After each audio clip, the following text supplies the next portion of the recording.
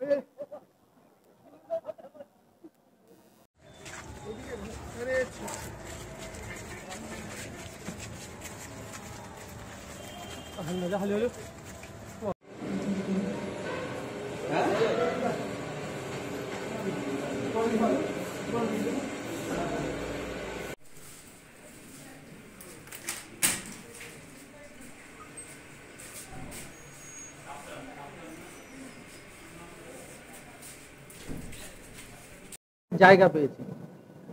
আমি রাজনীতি একটা দলে ছিলাম, যেহেতু আমার নেত্রী মমতা ব্যানার্জি। তিনার আদর্শকে আমি সামনে রেখে, তিনার অনুপ্রেরণায় আমি চাপড়ার মানুষের সেবা করেছি।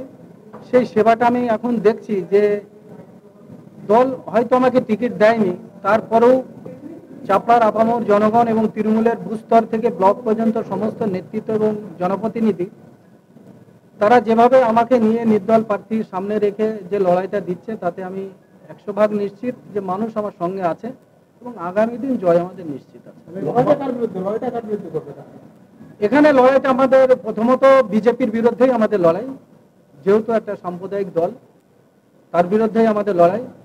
আর যিনি তৃণমূলের টিকিট পেয়েছে গত দু বছর দুষ্টামের বিধায়ক রুকমানুর রহমান চাপড়ার মানুষ যারা তৃণমূল কর্মীরা রয়েছে, যখন ওনার নাম ঘোষণা হওয়ার পরে চাপড়া তৃণমূল কংগ্রেস যারা করে, তারা নাইনটি পার্সেন্ট সেদিন সব ভেঙে পড়েছিল এবং কান্নার জোয়ার বয়েছিল চাপড়াতে। যে আমাদের জননেত্রী মমতা ব্যানার্জি যে নামটা ঘোষণা করেছে, তাকে চাপড়ার মানুষ আর তৃতীয়বারের মতো বিধায়ক হিসাবে ওখানে চাচ্ছে না। ঠিক সেই জায়গায় দাঁড়িয়ে যেহেতু দলটাকে আমাদের বাঁচানোর লড়াইয়ে এই জায়গাটা আমরা তৈরি করেছি। কারণ আমরা জানি ওখানে আইএসএফ একটা প্রার্থী দিয়েছে এবং বিজেপির প্রার্থী আছে।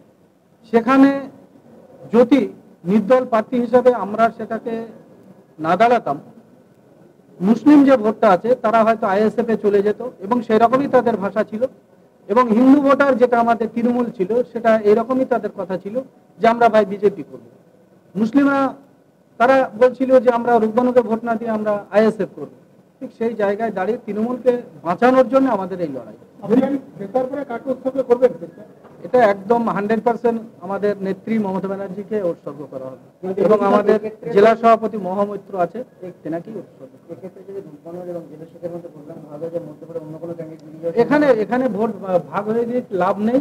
কারণ এখানে বিজেপির যে ভোটটা আছে তারা অন্তত পক্ষে পঁয়ত্রিশ থেকে চল্লিশ হাজার ভোট হবে রূপবানু তিরিশ হাজারের বেশি ভোট পাবে না। যেহেতু দু লক্ষ ভোট এখানে পোল হওয়ার সম্ভাবনা রয়েছে।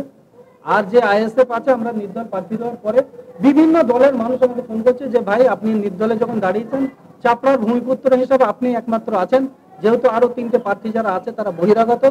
তাদেরকে ভোট না দিয়ে আপনাকে আমরা ভোট দিয়ে চাপড়ার ভূমিপুত্র হিসাবে আপনাকে আমরা বিদায় এখানে? চল্লিশ থেকে পঞ্চাশ হাজার ভোটে আমরা লিড দেবো। মানে মূল আপত্তি হলো আপনার না আমার নয়। স্থানীয় মানুষের আপনি স্থানীয় মানুষের আপত্তি রূপবানুর রহমান। উনি বহিরাগত বলে উনি বহিরাগত এবং দশ দশ বছরের যিনি বিধায়ক তিনি চাপড়ার মানুষের জন্য আমাদের জননেত্রী মমতা ব্যানার্জির যে নির্দেশ যে জনসংযোগ মানুষের সঙ্গে করা কিন্তু জনসংযোগে উনি সেইভাবে ছিলেন না। কি এখন সিম্পল আমি পাইনি যেটা সাত তারিখে আমি সিম্পলটা পাবো। বলছি এই- পর চারটে চারটে আপনার সাজেস্ট করতে কি কি সুন্দর সাজেস্ট করেছেন দেখেন এর আমি এটা ঠিক বলতে পারব না। কারণ হচ্ছে এখানে যে জনজোয়ার সাধারণ মানুষ কে কোথায় থেকে কীভাবে গাড়ি নিয়ে চলে আসছে আমি নিজেই জানি কারণ এখানে আমি সকালে দেখলাম মানে আমি যখন গাড়ি টোকান থেকে ছাড়বো আমি কিছুটা রাস্তায় ঘুরলাম। কিছু না হলে তিন কিলোমিটার মানে রাস্তায়। একদিকে বাস একদিকে ছোট গাড়ি। তিন কিলোমিটার প্রায় তিনশোর উপরে গাড়ি সেখানে লাইন দিয়ে দাঁড়িয়ে আছে। এবং অবরুদ্ধ হয়ে গেছে। একদম। নির্দল প্রার্থী হিসেবে আপনি কি একটা ইতিহাস রচনা করতে চলেছেন? কি মনে করছেন? চাপড়া মানুষের দোয়া আশীর্বাদ নিয়ে নিশ্চয় এটা হবে। আপনারা আমাদের সঙ্গে থাকেন। ঠিক আছে